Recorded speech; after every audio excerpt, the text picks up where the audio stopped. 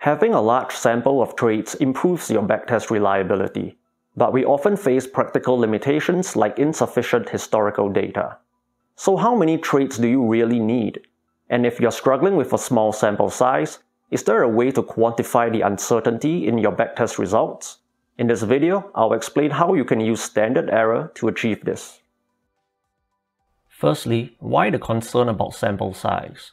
You want a large number of trades because it increases the statistical significance of your backtest results. This means you can be confident that your results are a true reflection of your strategy's performance and are not due to random chance.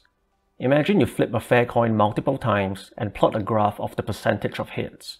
It takes about 200 flips for the percentage to converge towards the theoretical value of 50. If we have only 50 flips, for example, the effect of luck becomes significant. Since your backtest is the crucial scorecard that accompanies your strategy from inception to live trading, you need to be sure you can trust it.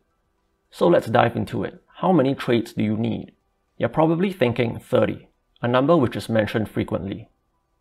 Here's my take. When you backtest your strategy, you are attempting to characterize its probability distribution. 30 trades is usually sufficient if you're trying to verify a distribution you have already characterized.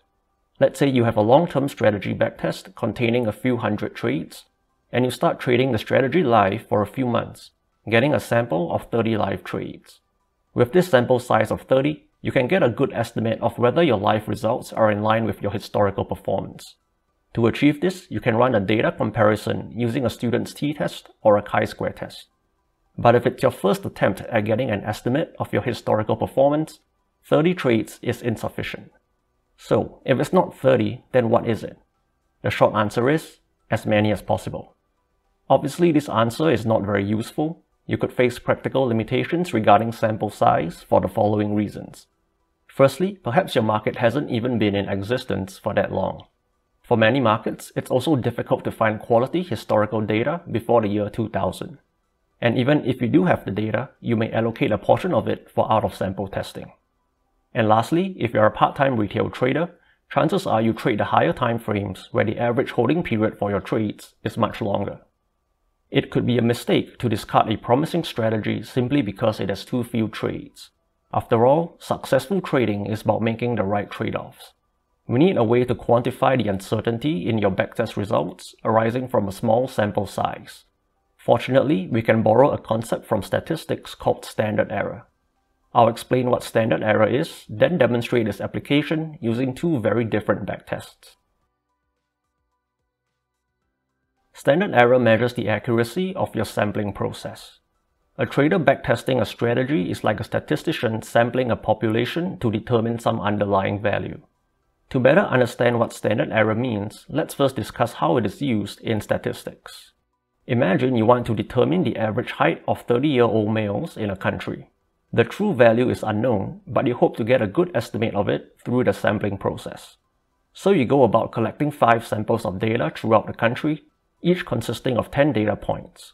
You get the following plot. You then find the mean height from each of the 5 samples, and then compute the standard deviation of these 5 means. This standard deviation of the means is equal to the standard error. Standard error tells you how far the sample mean deviates from the true population mean. The smaller the standard error, the more representative the sample will be of the overall population. So back to our trading context. Instead of finding out the average height, you are now interested in your strategy's average trade. This is also known as your expectancy and is equal to your net profit divided by the number of trades. In trading, we don't have the luxury of having multiple samples as shown above. We only have one, and that's our backtest. Fortunately, standard error can be estimated using this simple formula. You can compute your standard deviation using your MT4 backtest report. Simply export it to Excel and apply Excel's standard deviation formula to the list of profits from your individual trades. The more trades your backtest has, the smaller the standard error. A small standard error means your backtest expectancy will be close to the true value that you would obtain if you could backtest over infinite data. It is usually a good assumption that the profits and losses in your backtest are normally distributed. In other words, they follow the famous bell curve shown here. In a normal distribution, 95.4% of values lie between plus minus 2 standard deviations, and 99.7% of values lie between plus minus 3 standard deviations. Let's apply this to our backtest. If your expectancy is $100 and your standard error is $20, you can be 95% confident that your strategy's true expectancy lies between 60 and $140, which is plus minus 2 standard errors. Likewise, you can be almost 100% confident that your strategy's true expectancy lies between 40 and $160. I will use two backtests to demonstrate the application of standard error. Both are from trend following strategies trading a fixed 0.1 lots. The first strategy trades on the 15 minute time frame, while the second strategy trades on the 4 hour time frame. At first glance, the second strategy seems far more promising.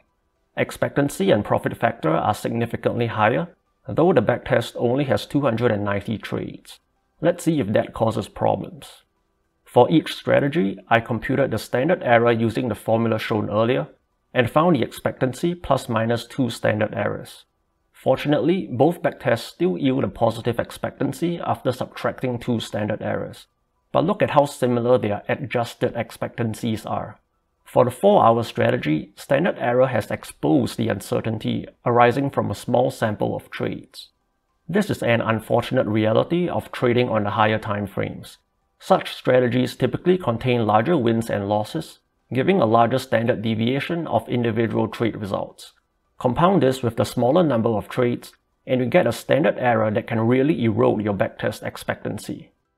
Suppose you are trading a daily trend following strategy that was developed on a small sample of trades, and it starts underperforming. Market conditions could have changed, or perhaps your backtest uncertainty is playing out in real time. So in general when backtesting, always try to make your data period as long as possible. This gives you more trades and also tends to cover more market conditions, which helps improve your strategy's robustness. If you suspect your sample size is too small, you can use standard error to quantify the resulting uncertainty. If your average trade is still positive after subtracting two standard errors, you can be more confident that your strategy will be profitable over the long term. Don't forget to like and subscribe and stay tuned for more trading tips.